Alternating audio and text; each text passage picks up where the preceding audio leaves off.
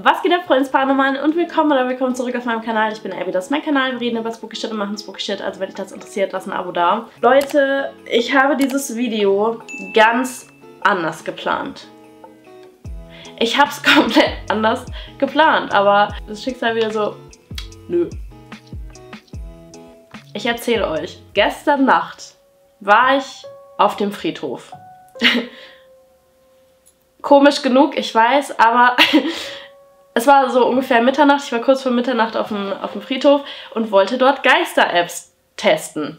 Ich habe so eine App auf dem Handy, ich weiß nicht genau, wie es funktioniert. Auf jeden Fall irgendwie soll es wie ein EMF funktionieren, aber das dann noch in Worte umwandeln. Keine Ahnung, wie es funktioniert. Auf jeden Fall kommen da halt Worte wie halt so eine Spiritbox, nur ohne Rauschen. Ich hatte meinen Camcorder, die Night Vision war Trash, darüber hätten wir aber irgendwie hinwegsehen können. Wäre es halt eine Podcast-Folge gewesen, I don't know, dann hättet ihr halt wenigstens gehört, was passiert wäre. Aber als ich die Aufnahmen heute angeschaut habe, ist der Ton einfach weg gewesen. Der hat den Ton einfach nicht mit aufgenommen. Like, what the fuck? Ich bin also alleine gestern Nacht um Mitternacht auf den Friedhof gegangen, hab mich des Todes gegruselt für nichts, Alter, für nichts. Es war trotzdem ultra gruselig, weil ich hatte diese App auf.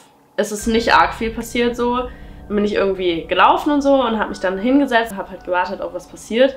Ich habe klar so ein paar komische Geräusche vernommen, aber kann ja alles sein. Also kann ja tatsächlich irgendwie auch ein Mensch da gewesen sein, was bei weitem gruseliger wäre als irgendwas Paranormales. Ich bin auch kurz rausgegangen von Friedhof, weil ich halt wirklich gedacht habe, da ist irgendjemand. Als ich mich auf die Bank gesetzt habe, hat irgendeine Stimme kurz irgendwie so äh, gemacht. Das war schon komisch.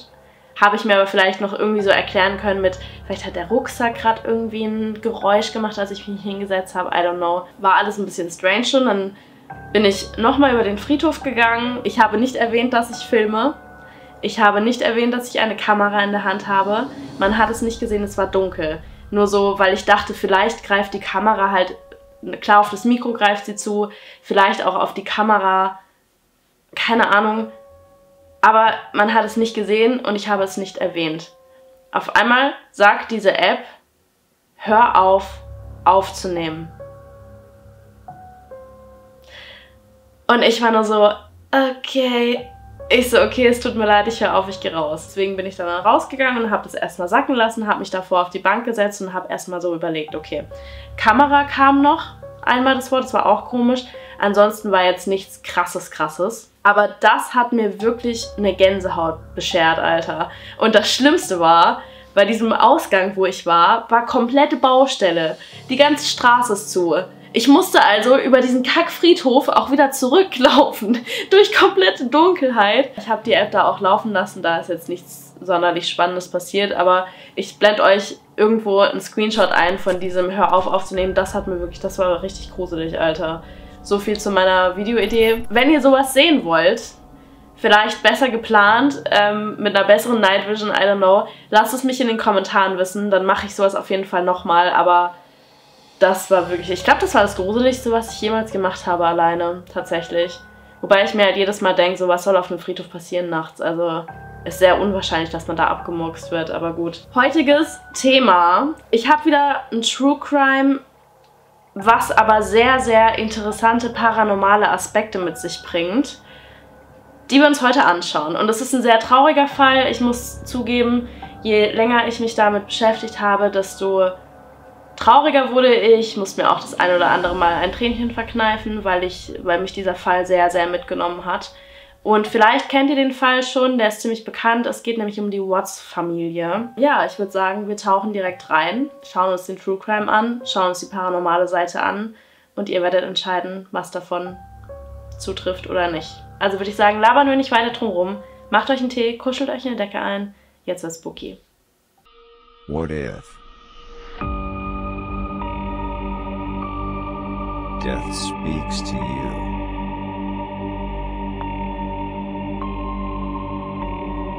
Would you dare to listen? Die Watts-Familie lebte zum Zeitpunkt des Mordes in Colorado. Es war ein Ehepaar namens Chris Watts und Shanann Watts und ihre zwei Töchter, Bella und Celeste, die auch Sisi genannt wird. Also Sissy ist ihr Spitzname.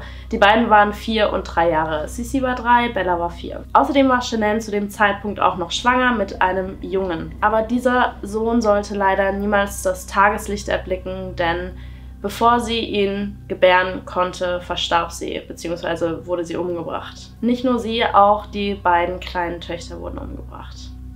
Was besonders grausam ist. Die Familie wirkt nach außen hin sehr harmonisch, fast schon perfekt. Shannon ist viel auf Social Media unterwegs, postet da immer Sachen von ihren Kindern auch und von der Familie generell, von Festen und whatever. Sie ist halt sehr, sehr aktiv auf Facebook und so weiter. Und das ganze Leben von ihr schien einfach Schön, perfekt, liebevoll, harmonisch.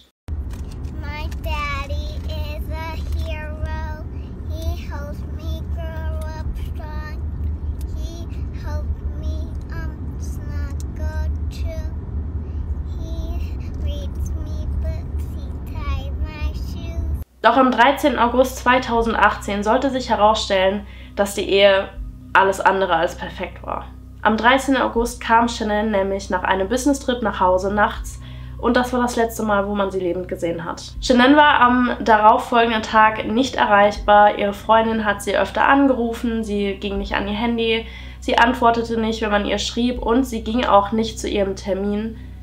Für, es war so ein Vorsorgetermin für das Baby halt, was sehr, sehr untypisch für sie war, denn für gewöhnlich nahm sie die Termine sehr, sehr ernst. Also sollte man ja auch, wenn man schwanger ist. Jetzt passiert also folgendes. Ihre Freundin, ich habe leider ihren Namen nicht notiert, informiert die Polizei. Die Polizei kommt, sie warten vor dem Haus. Natürlich kann die Polizei nicht in dieses Haus reingehen.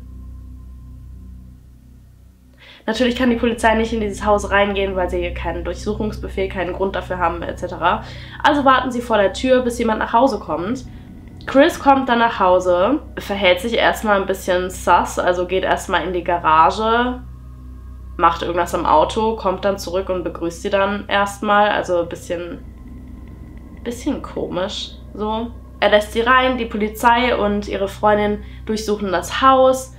Sie finden nichts, also keine, die, die beiden Kinder sind weg, Shannon ist weg, sie finden ihr Handy, das liegt da einfach was natürlich auch merkwürdig ist. Ihr Auto ist wie gesagt in der Garage, ihr Hochzeitsring liegt dort, es gibt keine Notiz, es, es gibt keine Nachricht, es gibt keine Info, wo sie abgeblieben ist. Die beiden Decken von den, von den Mädchen fehlen, ohne die gehen sie nirgends hin. Und die Medikamente von Shannon sind auch zu Hause, was auch untypisch ist. Also normalerweise nimmst du deine Medikamente ja mit, wenn du irgendwie verreist oder keine Ahnung was, denn Shannon hat Lupus. Und bei dieser Hausdurchsuchung, nenne ich es mal, sind die Freunde von Shannon schon so ein bisschen skeptisch gegenüber Chris, weil der sich nicht so verhält wie sonst. Also normalerweise redet er nicht viel. Er ist ruhig und hält sich zurück. Und zu diesem Zeitpunkt war er halt, ja, er hat mehr geredet als sonst. Er ist unruhig hin und her gewippt. Also ganz untypisch eigentlich. Ich meine, okay, man könnte jetzt erstmal sagen, ja gut, seine Frau und seine Kinder sind halt weg und gelten jetzt gerade als vermisst. So, natürlich ist man dann irgendwie unruhig und nicht so wie sonst. Also sagt noch nichts aus, dennoch behalten wir es im Hinterkopf. Als sie immer noch nicht wieder auftauchen, werden Flugblätter verteilt in der Gegend und Chris wird dann auch verhört. Woraufhin er dann auch in dem Gespräch sagt, ja, die Ehe liefe nicht mehr so gut und am Tag davor hatten sie auch sogar noch ein Gespräch gehabt, ob es besser wäre, sich zu trennen. Shannon hat ihm unterstellt, eine Affäre zu haben, was Chris allerdings erstmal ja verschweigt oder halt sagt, das stimmt nicht. Er äußert dann auch erste Bedenken bei der Polizei, dass denen etwas zugestoßen sein könnte, also dass sie vielleicht entführt worden sind von irgendjemandem, den sie kennen, weil ja kein Einbruch stattgefunden hat. Es ist ja immer so, bei den Fällen werden ja erstmal die näheren Verwandten und Bekannten und Freunde ins Visier genommen. Es ist ja auch zu 90% irgendwie jemand, den man kennt. Deswegen ist Chris natürlich jetzt erstmal der Hauptverdächtige. Sie fragen ihn so, ob er einen Lügendetektor-Test einwilligen würde. Er sagt ja, er ist sich ganz sicher, er hat damit nichts zu tun. Die Vorgehensweise der Polizisten finde ich auch sehr gut. Also ich finde es immer so krass zuzuschauen, wie FBI-Agenten und Polizisten und keine Ahnung was immer so ihre Vorgehensweisen haben. Ich finde das richtig krass, da irgendwie zuzuschauen. Die Polizistin sagt ihm ganz klar, wir werden sehen, wenn sie lügen. Und es ist jetzt ihre Chance, uns zu sagen, ob sie etwas damit zu tun haben oder nicht, weil wir werden es so oder so jetzt gleich herausfinden. Chris sagt nein, er hat keine Einwände, wir machen den Lügendetektor-Test. er ist sich ganz sicher, dass er diesen Test quasi austricksen kann. Spoiler, hat er nicht. Er hat ihn nicht ausgetrickst. Es stellt sich nämlich bei diesem Test heraus, dass Chris gelogen hat. Surprise, surprise. Also bleibt er weiterhin verdächtig. Er streitet aber weiterhin alles ab. Er sagt, ja, ich bin halt aufgeregt, dies, das, yada, yada. Aber ähm, die Polizisten wissen genau. Also die hatten den Verdacht, er hat sich verhärtet und jetzt heißt es eigentlich nur noch zu beweisen, dass er es auch wirklich war und wie er es gemacht hat. Bei weiteren Nachforschungen stellt sich dann auch raus, ja gut, Chris hatte tatsächlich eine Affäre mit einer Arbeitskollegin. Also Shanans Gefühl gegenüber dieser Affäre war goldrichtig so. Diese Frau wusste auch von Shanann und den Kindern. Chris hat allerdings erzählt, wie es so oft ist, dass sie sich gerade trennen würden und dass er auf jeden Fall mit ihr zusammen sein möchte. Aber er streitet nach wie vor vehement ab, dass er was mit dem Verschwinden von seiner Frau oder von seinen Kindern zu tun hat. Die Polizisten verlassen dann den Raum und bitten seinen Vater hinein. Und hier, ich weiß nicht genau, ob Chris wusste, dass der Raum Video überwacht wird oder nicht. Auf jeden Fall hat er seinem Vater gesagt, also gestanden, dass er Shanann umgebracht hat. Seiner Aussage allerdings nach hat er Shanann getötet, weil sie Celeste und Bella getötet haben soll. Was an sich überhaupt keinen Sinn machen würde. Warum sollte sie Warum sollte sie das einfach, einfach so machen? So, das macht keinen Sinn. Es gibt kein Motiv dafür. Ja, auf jeden Fall wissen wir jetzt, dass alle tot sind, wie auch immer das jetzt erst passiert ist. Also, wie gesagt, Chris erzählt, Shannon hat die beiden erwürgt und er ist daraufhin ausgerastet und hat Shannon dann erwürgt. Jetzt geht es also darum, wo sind die Leichen? Wo hast du sie versteckt? Wo hast du sie hingebracht? Chris erzählt, dass er sie auf seinen Arbeitsplatz gebracht hat. Er hat an so einer Baustelle gearbeitet mit so zwei Öltanks. Shannon hat er begraben an einer Stelle, so ganz flach unterm Boden begraben. Und seine beiden Töchter hat er in diese Öltanks gemacht. Und das ist so grausam, sich das vorzustellen. Diese Öltanks hatten auch so nur so kleine Öffnungen. Das heißt, er muss die da wirklich reingepresst haben. Also diese Vorstellung. Die Polizei glaubt auch nicht, dass Shannon diese beiden Kinder umgebracht haben soll. Also wieso auch so? Ihre Familie glaubt das auch nicht. So, sie, sie hat die beiden Kinder über alles geliebt. Und es würde natürlich mehr Sinn machen, dass Chris alle getötet hat, um quasi in sein neues Leben zu starten mit seiner Affäre, ohne Kinder, ohne alles, einfach Neustart.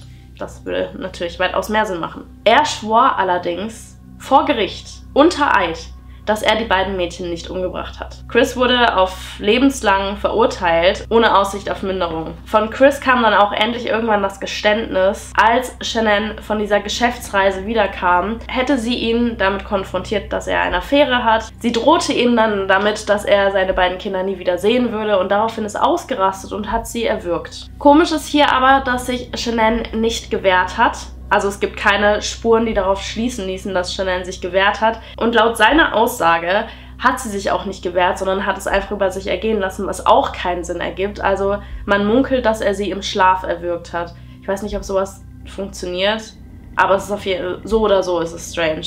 Jetzt kommen wir auch zum richtig kranken Part. Er nimmt die Leiche von Chanel, wickelt sie in einen Laken, verfrachtet sie ins Auto und setzt seine beiden Kinder, Sisi und Bella, daneben die komplett verstört sein müssen. Die, die haben keine Ahnung. Es ist nachts, sie werden aus dem Bett geholt, sie werden ins Auto gesetzt, sie fahren eine Dreiviertelstunde zu einer Baustelle.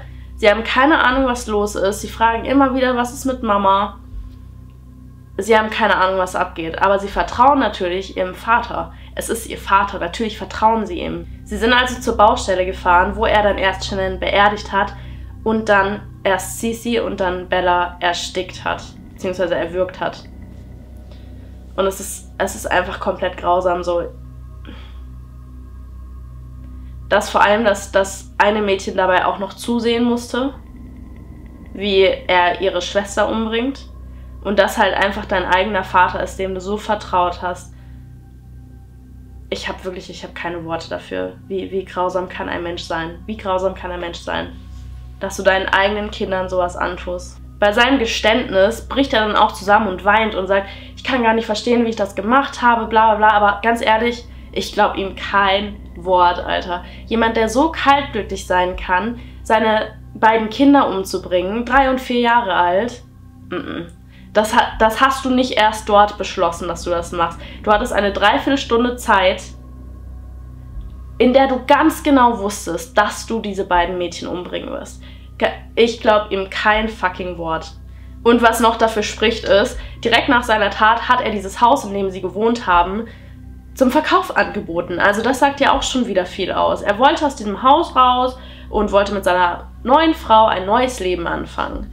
Das ist alles, was da passiert ist. Das ist sein Motiv, das ist sein Motiv für diese einfach absolut grausame, grausame Tat. Ich, ich kann es einfach nicht, ich, ich kann es nicht verstehen. Seine Eltern sagen dann auch noch vor Gericht, dass sie ihm verzeihen und dass sie ihn immer noch lieben, was mich so wütend macht. Wie kannst du, wie kannst du jemanden in die Augen schauen, der deine Enkelkinder genommen hat, der das Leben von zwei unschuldigen kleinen Kindern genommen hat und ihm sagen, wir verzeihen dir dafür. Das macht mich absolut sprachlos. I'm sorry, das macht mich richtig sprachlos und wütend. Was ist, was ist los? Was ist los mit den Menschen? Warum ist die Welt so am Arsch, Mann? Auf Netflix gibt es dazu auch eine ziemlich gute Doku, falls ihr das ansehen wollt. Das heißt American Murder Bilderbuchfamilie. Da geht es um den ganzen Fall, da sind auch so Polizeiaufzeichnungen und so weiter, Polizeiverhöre drin und so. Falls ihr das nochmal ausführlich sehen wollt, ist wirklich sehr empfehlenswert. Mich hat's wirklich, mich hat dieser Fall sehr, sehr schockiert und ich habe, ich könnte in Tränen gerade ausbrechen, weil ich mir denke, wie kannst du, wie kannst du in die Augen von deiner kleinen Tochter schauen, die dir vertraut, die dich über alles liebt und ihr einfach sowas antun. Nee. Wir gucken uns jetzt aber nach dieser schlimmen, schlimmen Geschichte noch den paranormalen Teil an, denn den finde ich durchaus interessant und bemerkenswert. Und ich bin sehr, sehr gespannt, was ihr dazu sagt. Also zum einen sagte Chris mal aus, er wäre von einer bösen Entität besessen, weil ich muss, glaube ich, nicht sagen, dass ich das für Schwachsinn halte oder... das ist so lächerlich einfach, das ist einfach nur lächerlich. Aber es gibt sehr, sehr merkwürdige Dinge, die auf diesen Polizeikameras festgehalten worden sind. Aber seht selbst.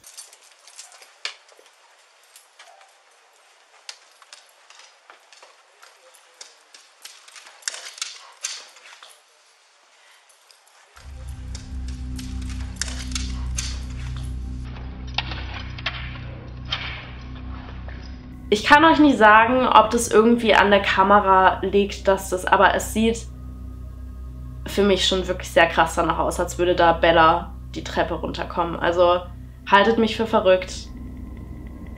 Aber es, es würde mich so traurig machen, ne, wenn diese Familie in diesem Haus gefangen wäre, in so einer Art Zeitschleife oder keine Ahnung was und das noch dort noch sein müsste, das würde mich so traurig machen. Ich hoffe einfach nicht, dass es so ist. Dann sind noch so Sachen passiert, wie dass man eine Frau beobachtet hat, wie sie auf dieses Haus zugeht, aber das Haus niemals wieder verlassen hat. Und als die Polizei dann anrückt, ist erstmal das Garagenlicht an, was schon mal sehr seltsam ist. Aber im Haus finden sie einfach niemand. Es ist niemand dort.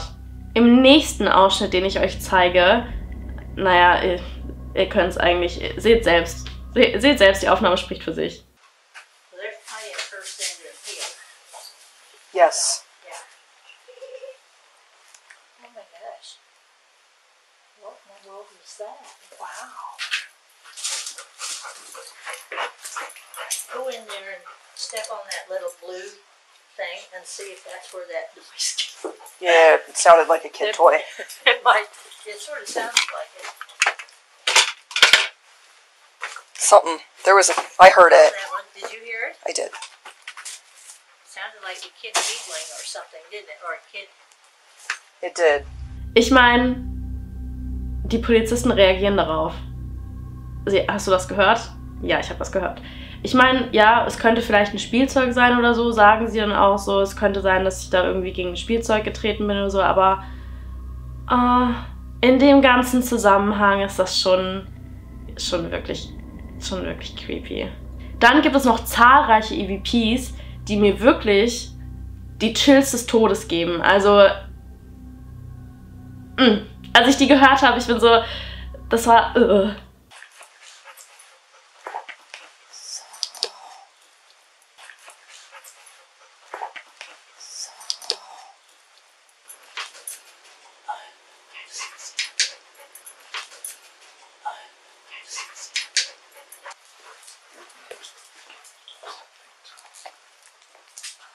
done very organized.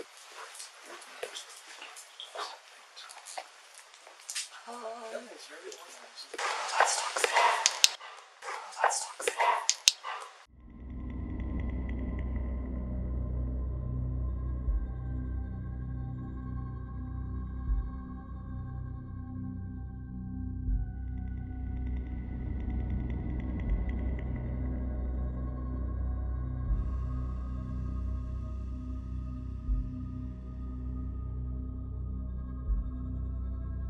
Wie gesagt, ihr entscheidet selbst, was ihr davon glaubt, was ihr hört. Ich bin sehr auf eure Meinung gespannt. Aber das Seltsamste, wirklich das Allerseltsamste, finde ich, passt mal auf, was gleich auf dem Fernsehen läuft. Yeah, I thought nothing. Nothing for the rest of the day. No, that's it. She's pregnant as well, How far along? 14, 15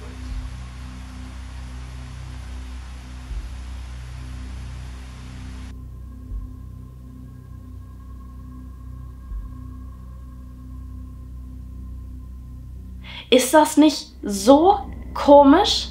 Das kann kein Zufall sein. Da ist ein Baby im Bauch, dann gibt es einen Totenkopf, dann irgendwas mit Öl und dann wird irgendwie die Haut, kommt die Haut ab oder so. Das kann kein fucking Zufall sein. Ein grausames Detail habe ich nämlich ausgelassen. Als sie die Mädchen in diesem Öltank gefunden haben, ist ihre Haut einfach abgegangen. Ihr könnt mir erzählen, was ihr wollt. Ich glaube nicht, dass diese Werbung ein scheiß Zufall ist. Das glaube ich nicht. Und das finde ich mit Abstand das Merkwürdigste an diesen ganzen paranormalen Sachen. Diese Werbung. Das ist. Es ist ein merkwürdiger Zufall. Es ist kein Zufall.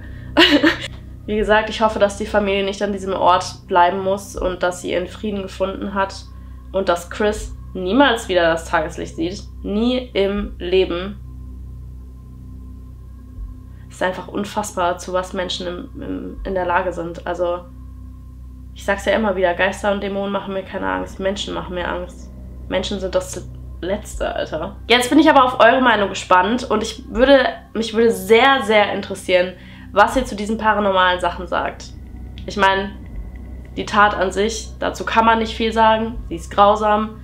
Man wünscht es niemandem. Ich hoffe, er bekommt seine gerechte Strafe. Aber was sagt ihr zu diesen paranormalen Sachen? Was sagt ihr insbesondere zu dieser Werbung? Glaubt ihr, es ist alles ein großer Zufall? Ich kann es mir nicht vorstellen, wirklich nicht. Ich kann es mir nicht vorstellen. Aber ja, wenn euch das Video trotzdem gefallen hat, trotz dass es heute sehr, sehr traurig und sehr, sehr schwer war, lasst gerne einen Daumen nach oben da, abonniert meinen Kanal, wenn das nicht schon passiert ist. Ich lade jeden Freitag um 18 Uhr ein Video hoch. Und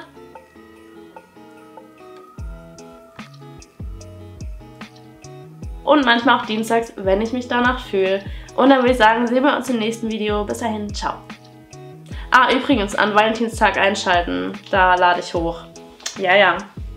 Valentinstag. Tschüssi.